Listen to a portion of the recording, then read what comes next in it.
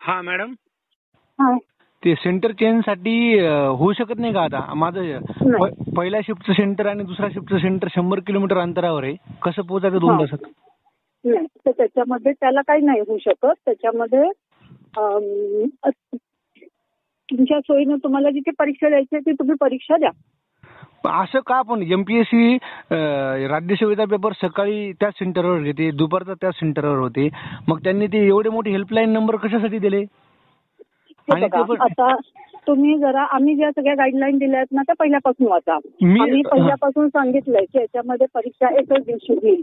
हा, एक एकाच मिनिट. ह्याच्यामध्ये सगळ्या तुमच्या बावन्न केदार आहेत त्याची सगळ्या ह्याच्यामध्ये एकच होईल.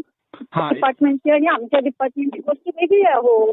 तुम्ही याचे सगळीकडे अर्ज भरले तर आम्ही त्याच्यामध्ये काय करणार आहे? पण- एवढ्या सगळ्या याच्यासाठीच्या पोस्ट भरत बसणार का? तुम्हाला हा कोणी सांगितलं मी सगळ्या पदासाठी अर्ज केला? मी तुम्हाला मी माझं सांगू झालं तुम्ही माझ्याशी काही प्लीज वाचून घेतली ठीक हा. आहे.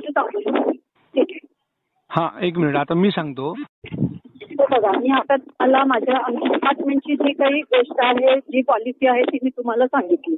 तर त्याच्यामुळे आता तुम्हाला जे निर्णय घ्यायचा असेल तो तुम्ही तुमच्या स्तरावरती घ्या. एक मिनिट मॅडम. माझं तुम्ही ऐका मी तुमचा व्हिडिओ त्या दिवशी बघितला. तुम्ही जसं. सांगितलं मी तसे पूर्ण इन्फॉर्मेशन ऍप्लिकेशन केलं कारण सकाळच्या शिफ्टमध्ये एक्झाम होणार होती.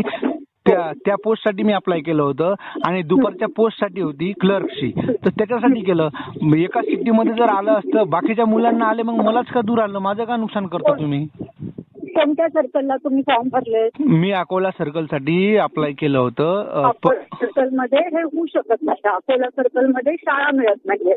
त्याच्यामुळे आपण जिथे अकोमोडेट करता येणं शक्य होतं त्या ठिकाणी अकोमोडेट केलंय. त्या ठिकाणी होऊ शकत नाही तिथे हा प्रॉब्लेम आलाय. आणि अकोला सर्कलमध्ये म्हणजे इव्हन अकोला अमरामध्ये मोठ्या याच्यामध्ये सुद्धा शाळा मिळत नाहीये हा मेजर प्रॉब्लेम झालाय. सर्कलमध्ये असं अकोमोडेट नाही करता आलं. पण मॅडम आमची एक संधी मिस होते ना.